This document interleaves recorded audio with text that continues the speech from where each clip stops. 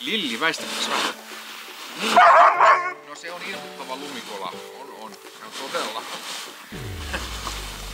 Kuule, lunta on tullut 10 senttiä viime yönä. Melkein, melkein vuoden viimeistä päivää vietetään. Ei ihan, mutta melkein. Hui. Tässä videossa käydään vähän läpi tätä kulunutta vuotta 2023 ja sen ihmeellisyyksiä. Mitä me nyt muistetaan, mitä tapahtui kuluvana vuonna.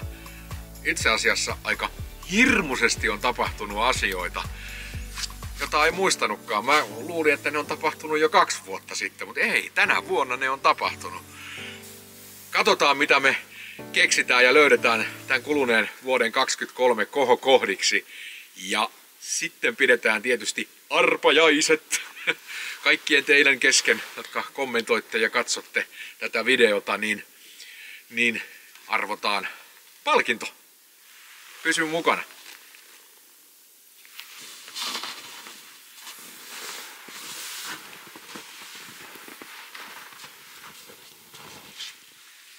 Puutarhapuuhia tehtiin paljon tänä vuonna. Ai että.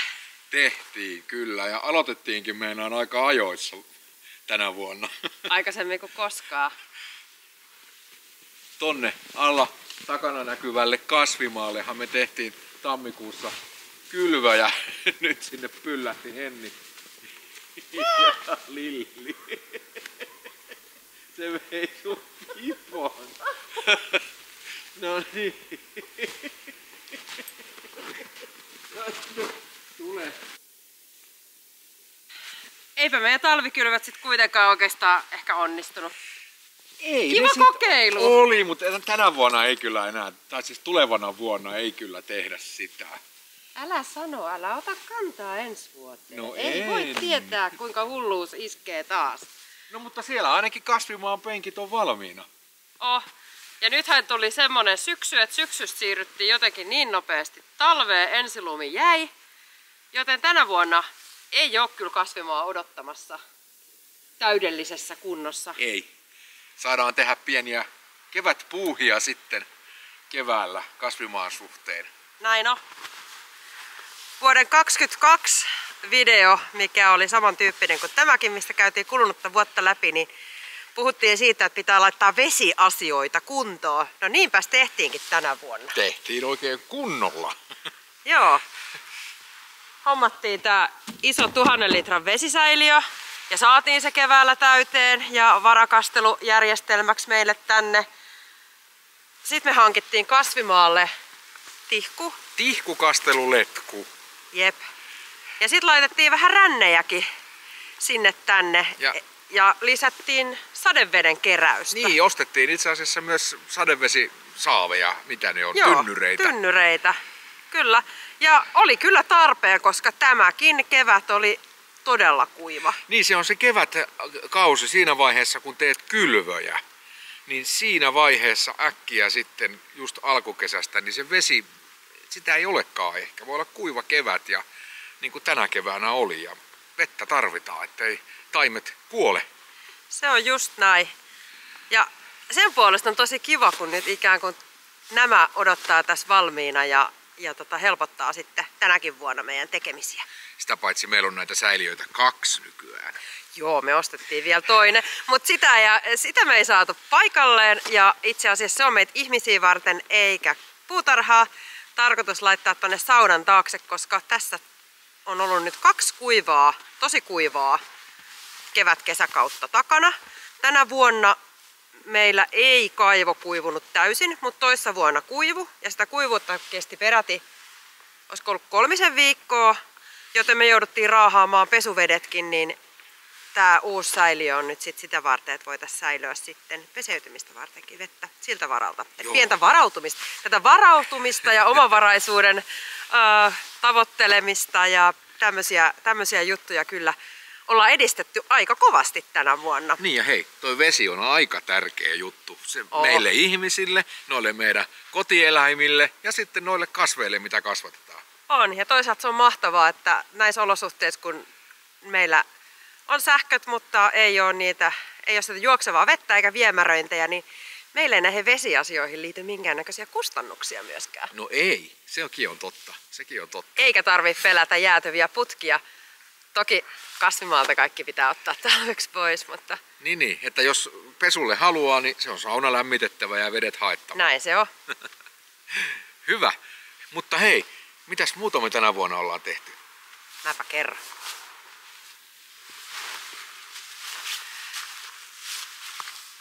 Rakennusprojekteja tehtiin tänä vuonna myös täällä puutarhan puolella. Ja Henrihän noista vanhoista lattialankuista teki tämmöisen ison, ison lavakauluksen ja tästä saatiin mahtava sato kurpitsaa esimerkiksi. Tää on hieno juttu ja kyllä on ajatus että näitä voisi olla lisääkin ja katsellaan mitä, mitä ensi vuonna keksitään tonne kasvimaalle. Kenellä on huono yölumessa?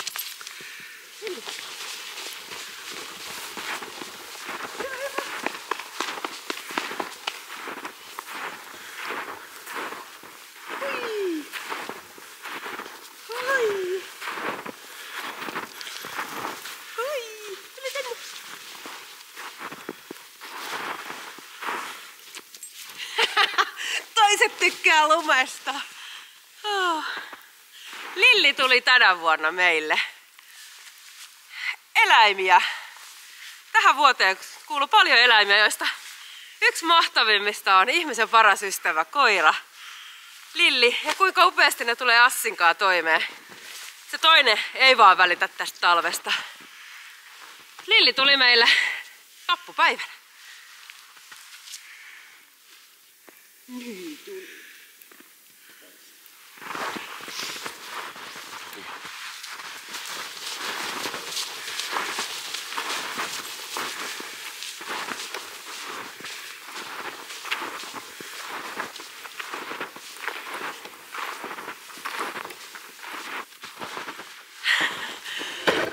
Ehkä tämmöisistä hullun oloisista projekteista tulee mieleen, kun vedettiin pulkalla tai tuolla ahkiolla tää mökki tähän. Mökkitie-niminen video, muistan sen vieläkin. Ja miksi? Koska paitsi että meille tuli tänä vuonna Lilli, niin meillähän tuli uusia eläimiä ja eläinlajeja. Miskiankat. Täällä ne asuu, paitsi että ne tykkää olla ulkona kylmälläkin, tosi kovilla pakkasillakin tuossa tarhassa. Ja sitten ehkä semmonen valitettava juttu, mikä tähän vuoteen tuli, tuli lintuinfluenssarajoitukset. Kaikki meidän siivekkäät joutu viettämään kesänsä sitten näissä tarha, tarhoissa tai aitauksissa. Ikävä homma, mutta kyllä ne rajoituksetkin sitten loppu ja ehtikö ne viikon verran olla kanat ulkona ennen kuin tuli sitten niin kovat pakkaset, että piti siirtyä sitten taas sisäolosuhteisiin. Keväällä hankittiin kaksi myskiankka naarasta ja yksi myskiankka uros. Toi sitten ihan käsittämättömän yllärin, kun ne auto 14 myskiankan poikasta. 14! Saatiin kasvatettua aikuisiksi ja itse asiassa 13 heistä lähti uusiin koteihin. Ja täällä meillä on heistä enää yksi, joka on tämä musta täällä nurkassa. En sinua häiritse. Jos joku on myskiankka ukkoa vailla, niin laitapa meille vaikka Instagramin kautta tai sähköpostilla info at puutarha49.fi viestiä. Myskiankat on ollut kyllä tosi mukavia seurattavia ja, ja niitä on ollut ilo katsella ja ne on voinut todella hyvin täällä. Ja sitä paitsi ne on hiljaisia ja vaatimattomia. Lilli, annapa olla. Ja, ja tota, niin, niin aivan mahtavia siipiveikkoja, etten sanois. Tässä on muuten niiden juoma-astia, jossa, jossa meillä on lämmityskaapeli sisällä, niin pysyy tuo vesi koko ajan sulana kovillakin pakkasilla. Ja tästä kaapelin asennuksesta ja ideasta, miten tämä tänne saaviin tehtiin, niin siitäkin löytyy video tältä vuodelta. Käypä kurkkaamassa, jos kiinnostaa. No tää on toiminut tosi hyvin. Ja tämän sähköjohdon lämmitinkaapelin, sulanapitokaapelin toisessa päässä meillä on ajastin kiinni, niin ollaan huomattu, että kahden tunnin välein suurin piirtein se napsahtaa pois päältä ja sitten kaksi tuntia siitä niin se napsahtaa taas päälle. Ei tarvi siis koko ajan lämmittää ja tosi hyvin on toiminut paukkupakkasillakin. Tää on ollut kyllä hieno, hieno keksintö. Taisi olla toi meidän Henni, kun tällaisen kekkas ja fohti ja löysi jostain kaapeliakin ihan nauruhintaan, niin tästä tuli tosi kiva. Siinä saa sitten sulaa vettä ankata nauttia.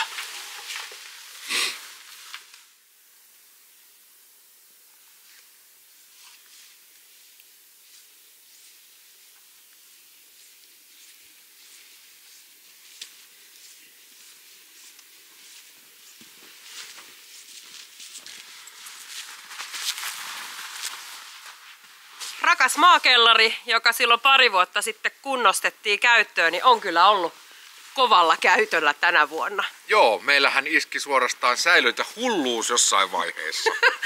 Joo, kanavalta löytyy tosi paljon syksyltä erinäköisiä säilöntäkokeiluita ja uusia reseptejä ja, ja sä, monenmoista säilykettä hedelmistä ja marjoista ja kasviksista ja lihasta ja tehtiinpä me jopa omaa omenaviinietikkaakin.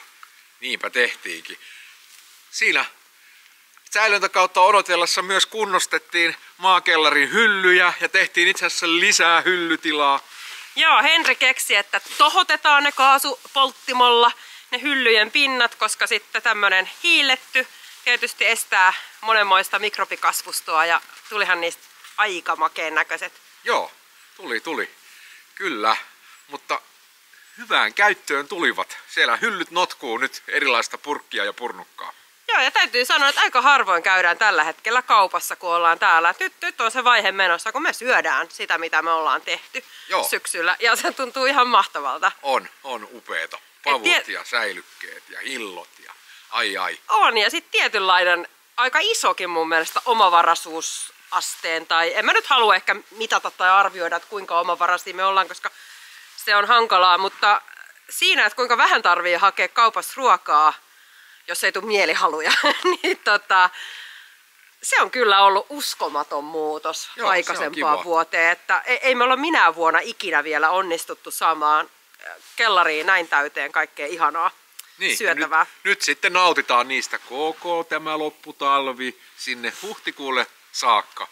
Kunnes alkaa ensimmäistä omaa satoa tulla siinä toukokuun alkupuolella. Mä erättelen toiveita meinaan niistä parsoista. Yes.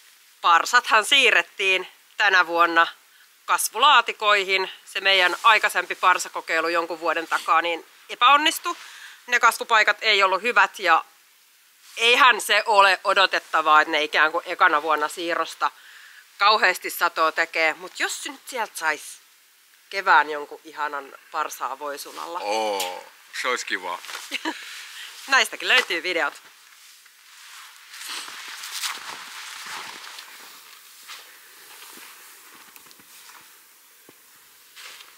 Mä sulle luvannut en ruusutarhaa, vaikka lupasinkin.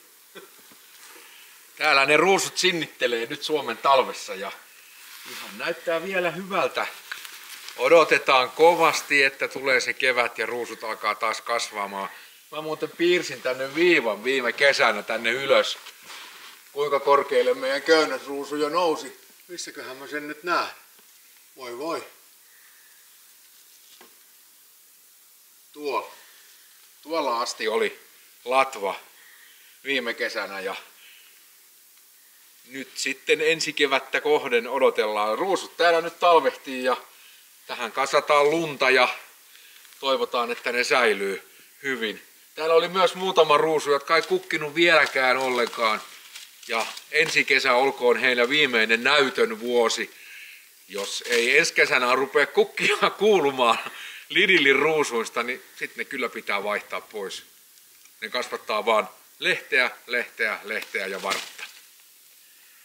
Mutta ruusuistakin löytyy video tältä vuodelta, kuluneelta vuodelta 23.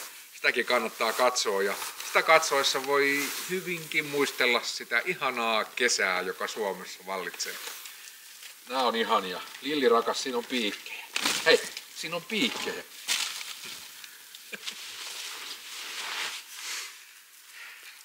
Saatiin myös tupa lämpimäksi. Niinpä tää taisi tapahtua tuossa ennen joulua loka-marraskuun vaihteessa. Joo, aloitettiin vähän tämmönen vanhan talon remppasarja, mistä tuli jokunen video, kun tätä keittiötupaa eristettiin. Ja niinhän siinä klassisesti kävi, että käsiinhän se levisi sekin homma siis laajeni hyvällä tavalla. Eli sitten paranneltiin keittiön tasoja ja säilytyssysteemeitä ja rehellisyyden nimissä on myönnettävä, että meillä on vieläkin listotuksia siellä tekemättä, koska piti viheltää niin sanotusti pelipoikki, koska meillä oli aivan ihana joulu ja joulun aika täällä. Oli, oli. Mutta hei, lämpimäksi tuli tupa. Tuli. Se on tosi hyvä juttu ja siitä saa nytkin nauttia sitten näillä kovilla pakkasilla, kun ei tarvi koko ajan lämmittää järjettömästi. Todella, todella iso ero on kyllä entiseen ja tulihan siitä myöskin kaunis. Tuli ja sen myötä syntyi monta, monta, monta uutta ideaa, Henni. Syntyi! Palataan niihin ideoihin ehkä sitten seuraavassa videossa. Kyllä, kyllä. Mutta kyllä on paljon puuhattu tänä vuonna 2023. Oh. Mitäs sitten? Mennään katsomaan.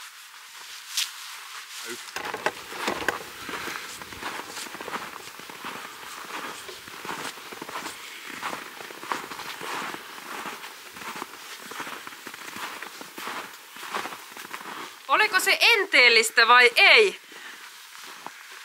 Mutta tämmönen ulkotarhahan me kasattiin Henrinkaa. Tämä oli siis valmis ratkaisu.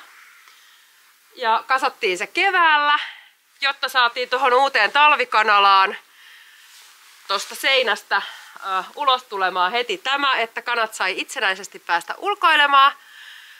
Ja voi että, mä kiittelin sitä sen lintuinfluenssa-ajan, koska me pystyttiin tarjoamaan heille ulkona olemista joskin uh, aidatussa tilassa tai verkotetussa tilassa, mutta saivat olla ulkona, ettei ihan täysin sisälinnoiksi joutuneet.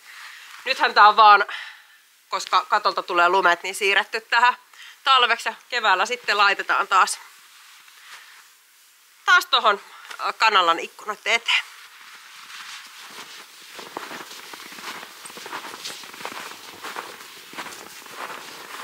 Siinä näkyykin pieniä jälkiä, kun kanat pääsi silloin noin ehkä viikoksi ehti ulkoilla, kun lintuinfluenssarajoitukset päättyi.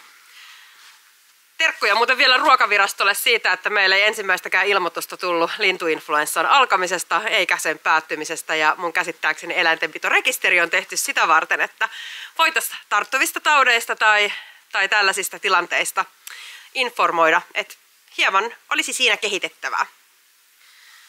Mutta meidän tähän vuoteen kuulu myöskin siivekkäissä hautomista.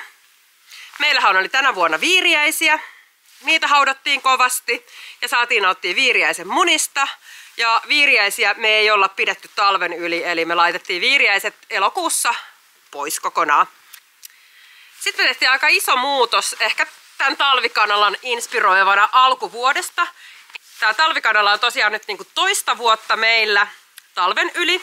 Niin, meillä oli tosiaan hybridikanoja ja sitten me päätettiin, että lähdetään etsimään kukkoa, että olisi kiva kukka saada. Ja sitten se idea siitä jotenkin kehittyi sen mukaan, että mitä tietysti niin kuin tarjontaakin oli. Ja päädyttiin sitten tämmöiseen Vajandotte-kukkoon, joka on niin kuin komea kuin mikä ja se on hyvä, hyvä ö, hybridirotu, eli sen rodun kanat munii hyvin myös talvella ja sitten toisaalta se on lihasarotu, eli kun hautomakone laulaa, niin aina väistämättä tulee niitä kukkoja ja sitten me saadaan niistä patakukkoja jos ei löydetä niillä sitten halukkaita ottamaan niitä uusiin koteihin. Ja kukon myötä itse asiassa tulikin sitten meillä myös yksi tämän rodun kana samalla.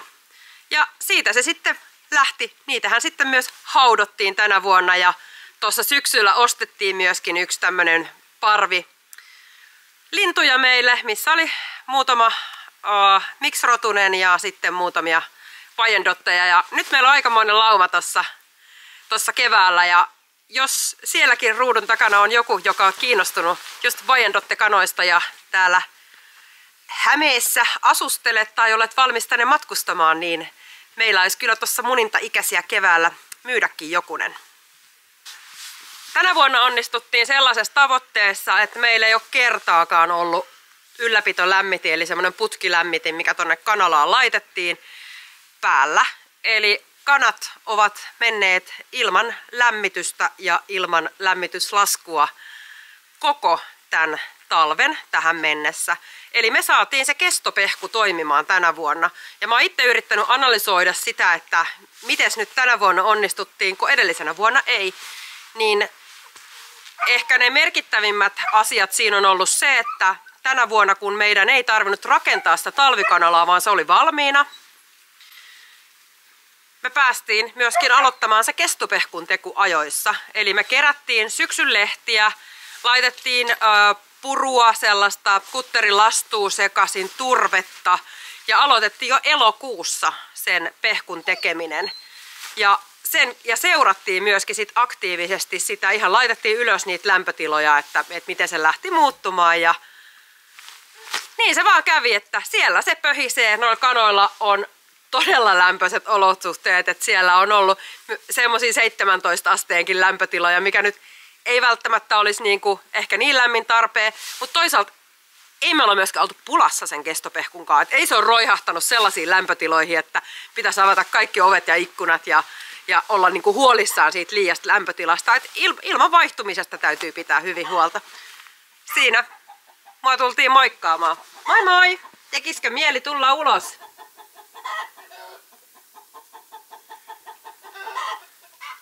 Tää on hirveän hauskaa pimeällä, kun kanalassa on valot ajastimella, niin näkyy ikään kuin silhuetit. Ja hyviä talvimunioita ne meidän kanat kyllä on. Munamäärä on vaihdellut, mutta noin kahdesta neljään munaa me saadaan tällä hetkellä, mikä on mun mielestä todella kivasti. Täydellinen munapreikki meillä oli tuossa loppusyksystä. Se taisi kestää kuukauden tai kaksi, niin ei tullut munan munaa. Ja mehän siis halutaan antaa meidän kanoille munintatauko. Ja koska meillä on kukko laumassa, niin me voidaan näistä hautoa myöskin sitten tipuja ja näin tosiaan ollaan tehty. Tehtykin ja todella hyvä hedelmöittymisprosenttikin on ollut näissä munissa, että meidän kukko kyllä hoitaa tätä homma erittäin mallikkaasti. Ja onhan se ihan mahtavaa päästä seuraamaan niitä tipuja ensin, kun jännittää kolme viikkoa hautomakoneen lopputulosta, sitä kuoriutumisvaihetta.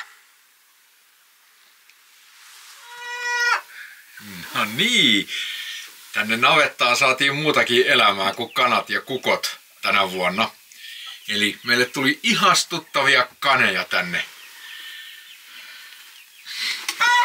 Täällä on Tellu ja Väiski. Väiski on piilossa, se on aika usein päivisin tuolla mökissä piilossa. Mutta Tellu ja Tellun poikane asustaa nyt tässä häkissä. Kaneja on ollut tosi kiva seurata ja ihmetellä ja voi voi niitä ihastuttavia kaninpoikasia, kun tuossa saatiin kesällä, kesällä ton tellun pyöräyttämänä, pyöräyttämänä niin, niin monta monta monta kaunista kaninpoikasta. Ne oli tosi mukavia seurattavia. Kanit on täällä elelee omassa, omissa häkeissään ja nauttivat heinästä ja, ja rehusta ja vedestä ja niillä on täällä oikein hyvä, hyvät oltavat heinää pitää koko ajan olla kanelle ruuaksi ja pitääpä nyt muuten antaa heinä. Heinää lisää Tellulle ja Tellun poikaselle. Siellä huutaa meidän lukkari kukko komeesti, pitää huolta omasta kana laumastaan. Tää on aika mukavaa, kun on tällaista maalaiselämää ja maa, maa, ää, maalaisääniä ympärillä. Kanit ei kyllä sano koskaan mitään, ne on aika hiljaa, mutta kukko ja kalat pitää kyllä meteliä. Tässä on myös yksi meidän ihana tämän vuoden eläin, pullakissa. Pullasta mä oon paljon laittanut tarinaa tonne Instagramin puolelle. Hänhän on kuusivuotias maatiaiskissa ja kotiutunut paremmin kuin hyvin tänne meille. Olet sinä niin komea. Se on aivan ihana tapaus.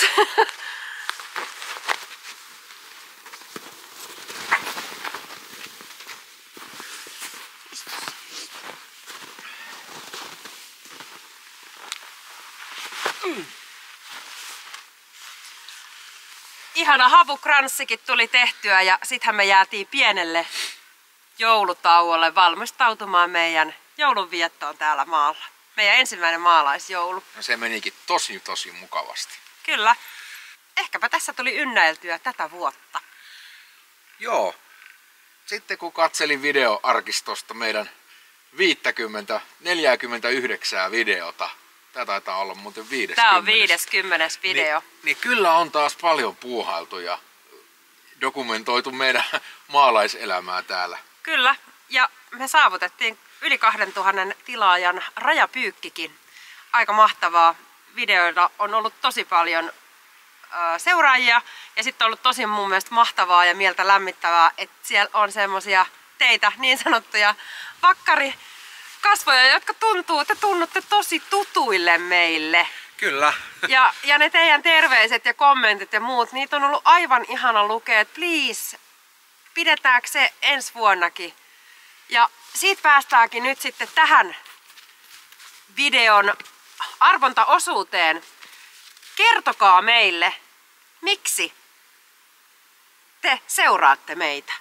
Mikä näissä videoissa viehättää mitä haluaisitte ehkä kenties lisää? Ja onko jotain, et mikä on ollut totaalisesti ää, ei kiinnostava tai onko meillä jotain ärsyttäviä maneereita?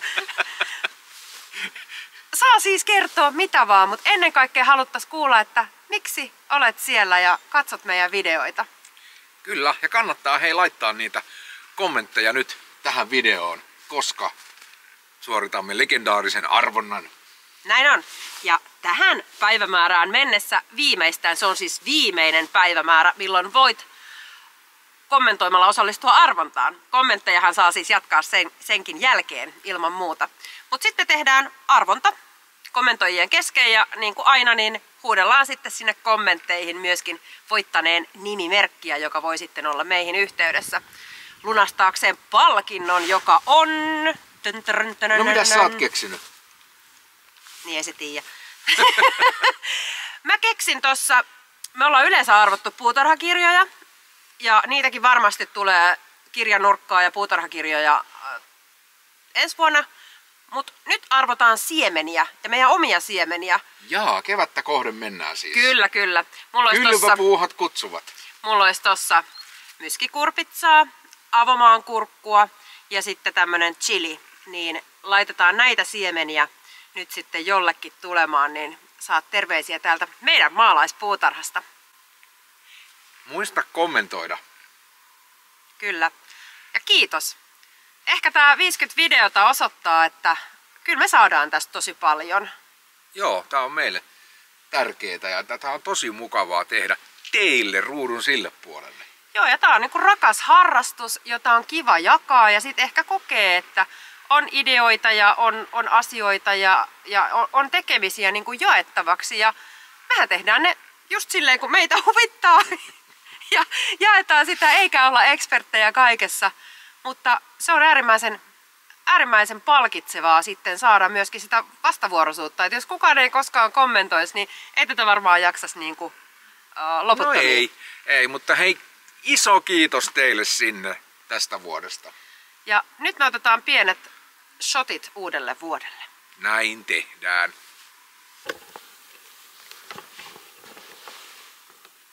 Uuden vuoden shotit tietysti itse tehdystä omenaviini etikasta. Tästä luvattiin antaa tietoa, että minkälaista siitä sitten tuli. Omenaviini etikan valmistaminen onnistui itse ja siitähän me tehtiin video ja nyt noin neljä kuukautta myöhemmin meillä on täydellistä, toivottavasti, fermentoitua omenaviinietikkaa. Nyt maistetaan.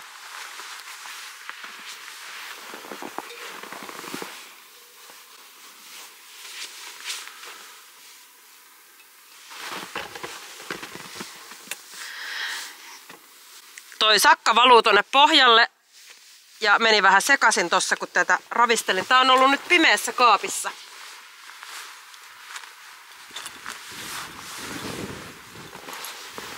Lilliväistä.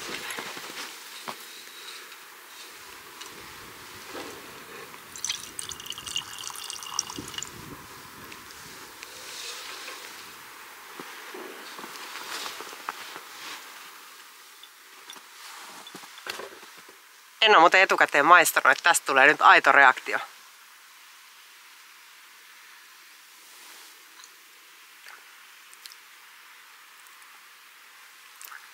Se on hapanta niin kuin etikka on. Se on siis täydellisen hapanta, mutta Herran Jumala, tää on samalla hyvää. Tää tuoksu on aivan mieletön. Aivan mieletön. Ihanaa, tätä jatkossakin. Tuuko sä Henri maistaa? Totta kai.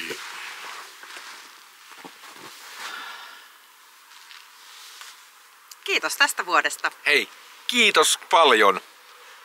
Maistetaan.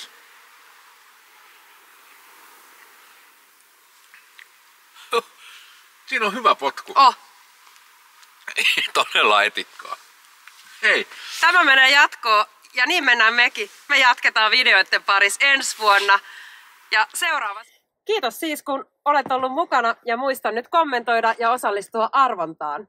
Me tosiaan jatketaan myös ensi vuonna näitä videoita. Ja ainakin alkuvuoden videoihin varmaan kuuluu se klassikko, eli mitä ajatuksia meillä on ja mahdollisia suunnitelmia ensi vuodelle.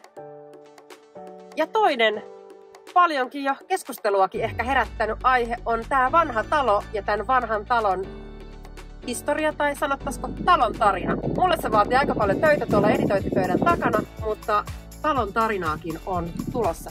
Pysy siis mukana. Ja hei, jos oot uusi, niin tervetuloa mukaan. Pistä kanava tilaukseen ja käykääpä peukuttamassa tätäkin videota, jos tykkäsit nähdään ensi vuonna. Mahtavaa uutta vuotta! Moi moi!